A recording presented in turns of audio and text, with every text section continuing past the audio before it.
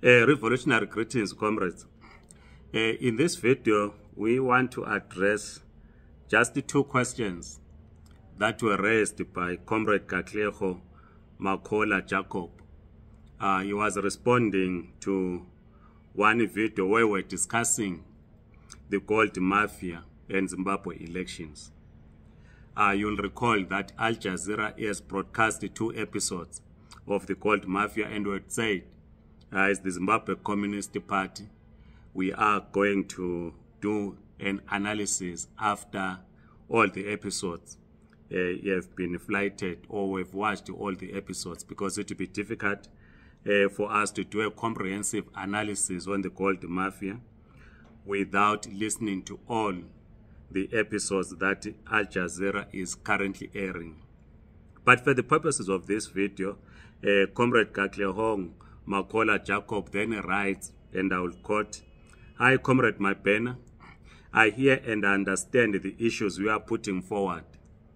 I'm interested in solutions. One, how do we get the message to those who are in the rural areas? Uh, two, is there an appetite to fix Zimbabwe or has people given up, especially those in the diaspora? The reason I'm asking is that a lot of Zimbabwe comrades I know at least care very little in what happens back home, especially when they get visas. They only want to get permanent residence or citizenship. I see very few organizations and channels on YT uh, talking about how to mobilize all the people. They are more talking about ZEP or visas that issues on the ground. Is then concludes by saying my two cents, close quote. Um, firstly, let, us deal with the first question, Comrade Jacob. Uh, uh, and we are, we are saying, I read again, how do we get the message to those who are in the rural areas? Yes, I said that uh, the majority of the rural electorate do not have access to DSTV to follow what is happening on Al Jazeera. Uh, many do not have access to YouTube. And I said in the video that we're discussing this, that uh, only about 1.2% of Zimbabweans that watch or people that watch my channel are in Zimbabwe. Uh, uh, like in the last 20, uh, 28 days, I think about 64,000 people watched my videos. Uh, only 1.2% of those are based in Zimbabwe. Uh, you can then calculate in terms of the percentage of people that watch. Uh, it's, it's because of it's because of data that people do not have data. So the question therefore which are putting forward, how do we get the message to those who are in the rural areas? In one chat group that we're discussing this with comrades, is that it's important that uh, we record or we produce uh, uh, DVDs of the gold mafia uh, uh, investigation by Al Jazeera. Uh, if we can record these DVDs, we circulate in communities. Uh, uh, I'm sure there are those that can assist also in recording CDs uh, that, that can be sent to communities. if it is possible, we might be able to reach more people, particularly in urban centers, who will then understand when we talk of what Al Jazeera is discussing, the gold mafia. Uh, uh, because what the question that we're raising uh, in that video was to what extent will the gold mafia as aired by Al Jazeera have an impact in the upcoming elections, which are expected to be in July, August. and, and of course, the other thing that people have access to, over 50% of Zimbabweans have access to WhatsApp. They listen to short messages or voice messages on WhatsApp. Uh, so the challenge that we have from a meta strategic point is that uh, we need to record short voice messages uh, speak, talking about the gold mafia once all the episodes have been done so that we are able to reach the majority of Zimbabweans. Your second question then says, is there an appetite to fix Zimbabwe or have people given up especially those in the diaspora, indeed there's an appetite.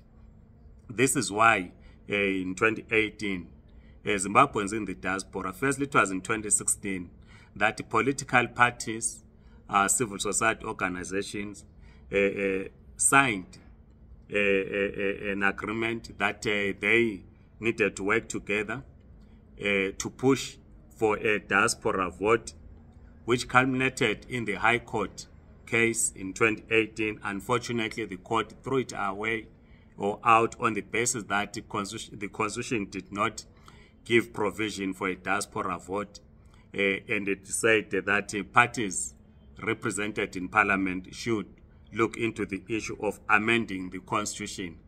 Uh, while there's appetite from those that are in the diaspora, there appears not to be appetite to have diaspora vote from the parties that are represented in, in, uh, in the Zimbabwean parliament, that is uh, ZANU-PF, Triple C, and uh, MDC in its various uh, formations.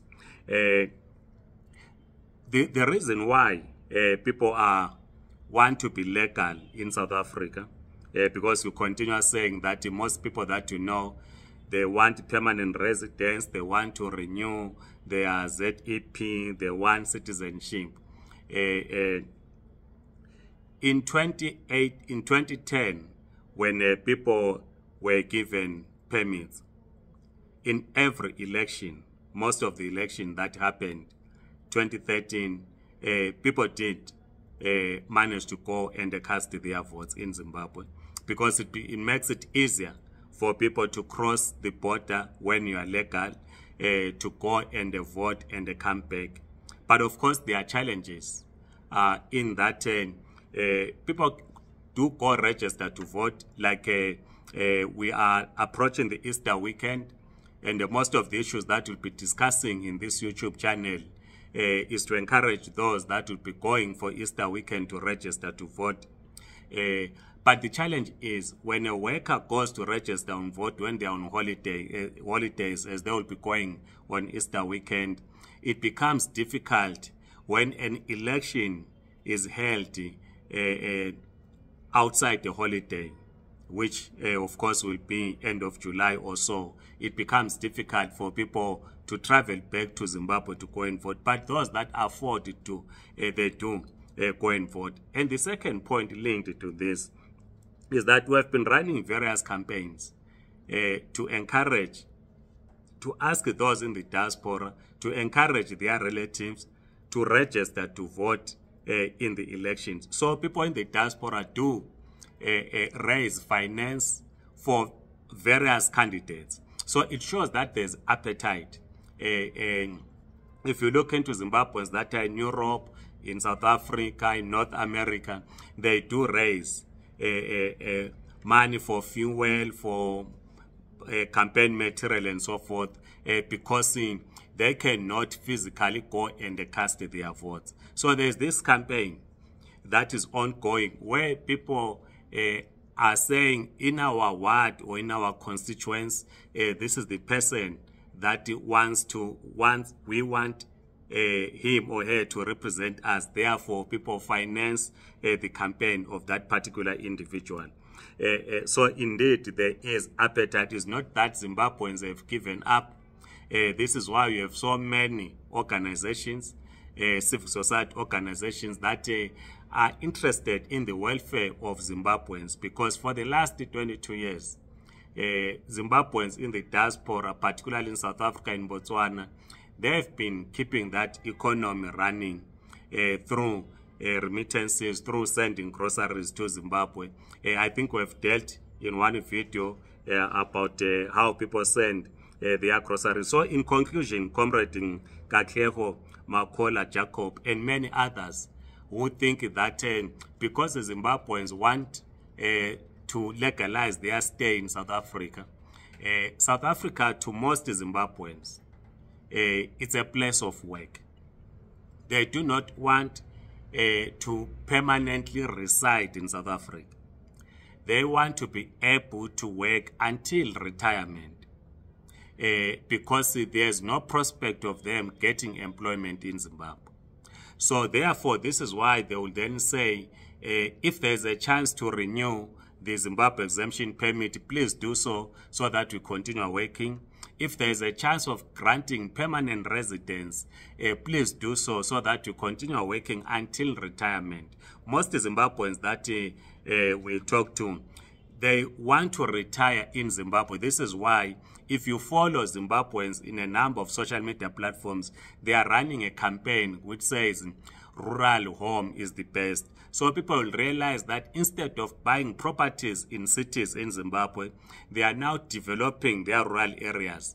Uh, we once uh, uh, interviewed on this YouTube channel domestic worker, many domestic workers from uh, Bulilimamangwe who, who, who purchased a, ball a drilling machinery, that big truck, to drill their own poles because they are preparing for their future. So there, there is a, this realization that at some point, uh, Zimbabweans will certainly go back, particularly after retirement. And the people are asking, where will we retire to? So this is why people are building their rural homes. Uh, this is why people uh, want to contribute to the economy of Zimbabwe. This is why people want a stable Zimbabwe so that uh, people will be able to retire uh, to Zimbabwe. Please uh, uh, send your questions. I know Comrade Jacob uh, uh, you might not be satisfied with the answer, but I hope you are. Uh, but you are free. Let's continue to engage and many others. Otherwise, please circulate this video, subscribe to this YouTube channel. Amandla Comrades.